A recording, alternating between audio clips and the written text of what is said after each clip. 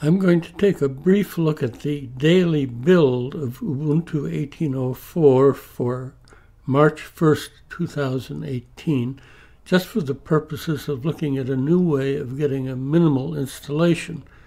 This doesn't require a separate ISO. This is an option on the standard ISO image. Currently, it's available in the default Ubuntu with GNOME and Ubuntu Mate and will probably become eventually available in all of the flavors of Ubuntu 18.04. But of course, the applications for each flavor will differ. I chose wired connected, but actually I have a wireless connected, but since this is in GNOME boxes, it reads it as a wired connection. So I'm going to double click on the install button.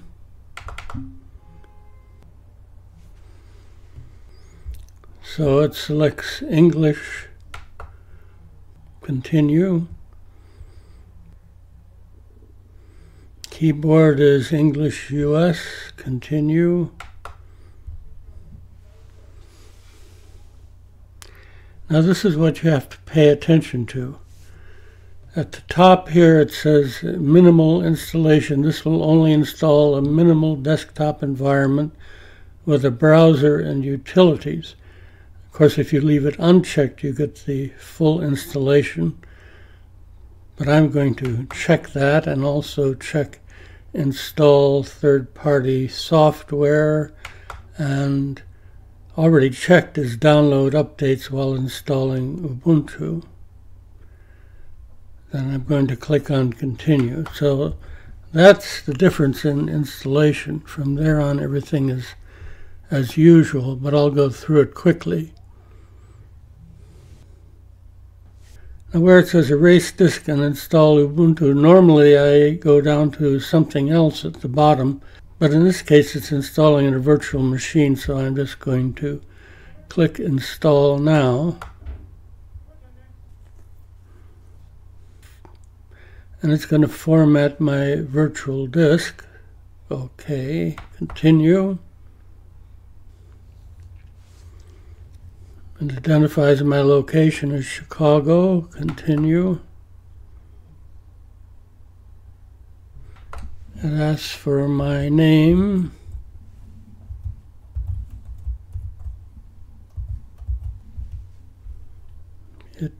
Picks a computer's name and a username which I can change. I'm going to enter a password and confirm it.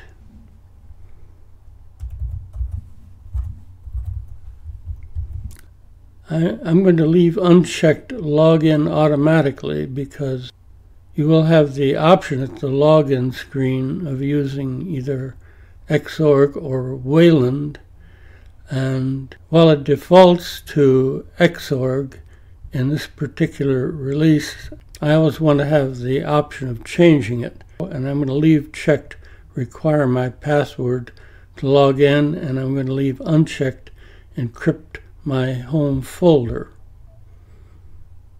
Continue. Now it's copying files and I'm going to pause the video at this point.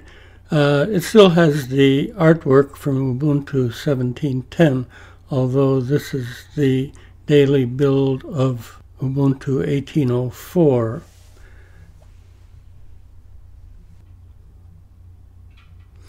Now here it normally removes the temporary packages. It says removing extra packages and it's checking for packages to remove. But you'll notice here that in addition to removing the temporary packages, it also removes some of the packages which are normally left in.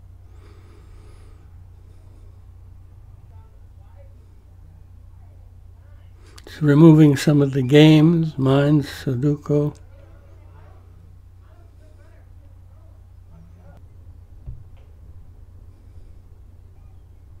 and it's removing LibreOffice here. So that's in the ISO, but it's not going to be in the minimal installation.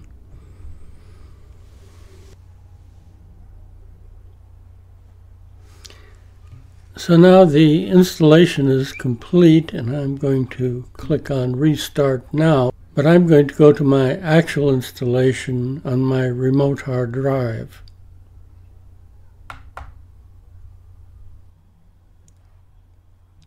This is my actual installation on an external hard drive, just to show you what a minimal installation looks like at this point. Remember, this is very early in the development cycle, so things could change before the final release. The dash is just the way it came with one exception. Since I'm using Simple Screen Recorder, which I installed, it shows up down here since it's currently active. But otherwise, you have Firefox, the file browser Nautilus, the Ubuntu software, which is also GNOME software, Help utility, and the Amazon store. However, searches do not go to the Amazon store by default as they used to. So if I click on this matrix symbol at the bottom, you can see what's installed. Amazon, calculator, files, Firefox, the input method, the language selector, power statistics settings, simple screen recorder I installed, software and updates, software updater, startup applications, Synaptic Package Manager I installed, the system monitor, the terminal, a text editor, Ubuntu software. Down here, videos and utilities. So if I click on that, you have the archive manager, characters, another instance of characters that's probably going to be weeded out, disks, which is GNOME disks, the document viewer, PDF viewer, font selector, help, image viewer, logs, another instance of logs. Again, these will probably be weeded out. Passwords, screenshot, and system monitor. So that's it. What you don't find in here is LibreOffice. If I were using this, I would probably install LibreOffice so why would I do this when I can get LibreOffice with the full installation? With the default version of Ubuntu with the GNOME desktop, they generally provide only LibreOffice Calc, LibreOffice Writer, and LibreOffice Impress, the presentation manager. They don't provide the full LibreOffice suite. So it's actually easier for me to install the LibreOffice suite from scratch than it is to install the missing components of the suite one by one. And of course, if you were a gamer and you wanted to use your computer primarily to play games, you might not want an Office suite. So while there are more ways of getting an even more minimal installation of Ubuntu, this is an easy way to get one that leaves a lot of space on your hard drive available for the things that you really use. This is XRAM Tech. Thanks for watching.